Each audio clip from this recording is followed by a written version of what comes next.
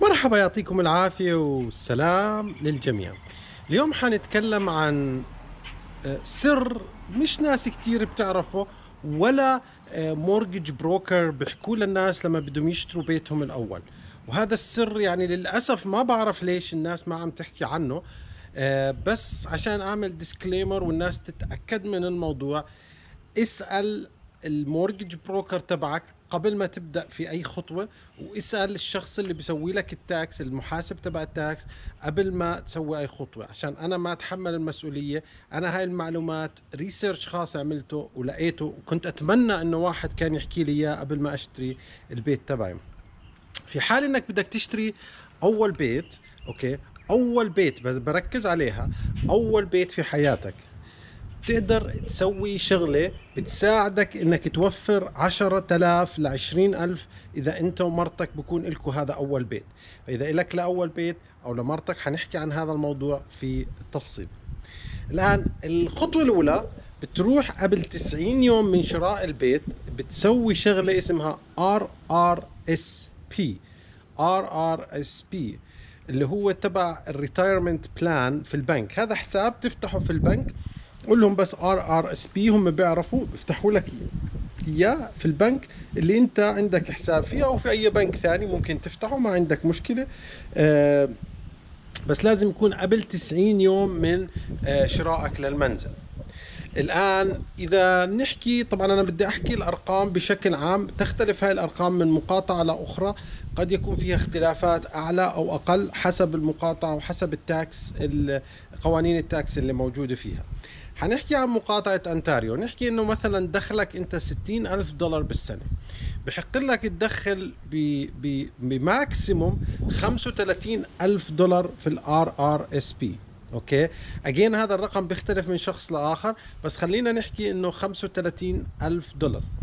إذا دخلت أنت 35 ألف دولار راح ينزل عندك من ال ال ال ال tax تبعك مقداره 10000 و 200 300 دولار. خلينا نحكي 10000 دولار. again بحكي هذه الأرقام بالنسبة لمقاطعة انتاريو الآن قبل ما تشتري البيت آه، طبعا بالتالي أنت صار عندك 35 ألف دولار موجودين عندك في الحساب.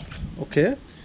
plus عندك 10000 أنت رجعتهم من التاكس اللي اجا اللي دفعته في السنة. فصار عندك حوالي 45 ألف دولار في حسابك. أو أنت معك في 45 ألف دولار.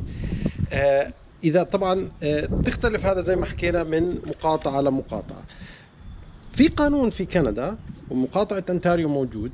إذا بدك تشتري أول منزل برجع بحكيها أول منزل بحق لك تسحب الخ... up to 35 maximum 35 ألف من حساب ال RRSP بدون ما تدفع عليهم tax بحق لك تسحب من ال RRSP مبلغ 35 ألف دولار.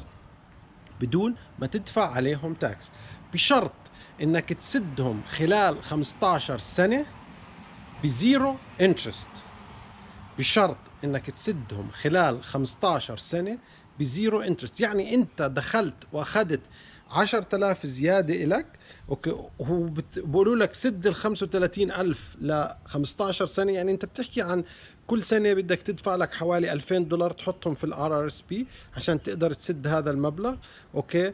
أو 2000 وشوية. وصار عندك صفر صفر interest عليهم. يعني ال ال ال ال الفائده عليهم من الحكومة صفر okay؟ فأنت فعليا عملت لحالك مدخر شوي صغير للمستقبل وأخذت كسبت 10000 من الحكومة. هلأ إذا أنت بتعمل ومرتك بتعمل كل واحد ممكن يسوي هاي الطريقة ويكسب 10000 دولار. فبالتالي بصير عندك 20000 دولار زيادة انت ماخذهم من ال tax refund الموضوع مش موضوع نصب الموضوع مش موضوع ضحك هذا موجود في ال system الكندي لل tax وبالتالي انت ممكن تستفيد منه بس للأسف كثير mortgage broker و tax accountant ما بيحكوا للناس عنهم خاصة لما بدهم يشتروا أول منزل. عشان هيك بدي أحكي لك إنه تنتبه لهذا الموضوع. الموضوع مفيد جدا جدا جدا ممكن آه، يوفر عليك مبلغ عشرين ألف دولار.